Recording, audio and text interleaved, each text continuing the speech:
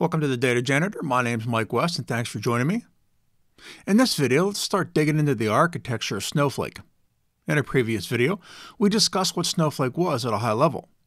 Now let's talk about how the pieces fit together. Snowflake isn't an application you can install on your laptop or your desktop. It can only be installed within the confines of the big three cloud providers. They are AWS, Azure, and GCP. Currently, I believe most of their installations are on AWS. So, the first thing we need is a cloud provider. Let's choose AWS for simplicity. Snowflake will have several layers of security. However, for this video, let's start at the very top. A VPC in Amazon speak is a virtual private network. An Amazon VPC enables you to launch AWS resources into a virtual network that you've defined with all the benefits of using the scalable infrastructure of AWS. All right, now let's talk strictly about Snowflake. There are three core layers to Snowflake's architecture. They are the cloud services, query processing, and database storage. The top layer is cloud services. The cloud layer is a collection of services that coordinate activities across Snowflake. These services tie together all the different components of Snowflake in order to process user requests, from login to query dispatch. The cloud services layer also runs on compute instances provisioned by Snowflake from the cloud provider. For example, this layer handles access on authentication. It also handles query processing. Recall that a query is a single transaction. If you mistype something, the cloud layer will let you know. The next layer is called the query processing layer.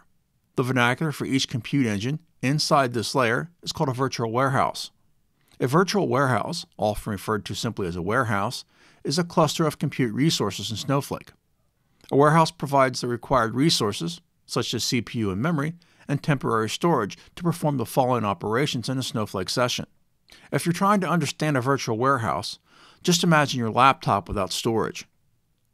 Each virtual warehouse offers compute resources such as CPU and memory. Data lives at a different level. Speaking of the data layer, let's segue into that right now. The third and final layer is the storage layer. When data is loaded into Snowflake, Snowflake recognizes that data into its internal optimized compressed and columnar format. Snowflake stores this optimized data in cloud storage.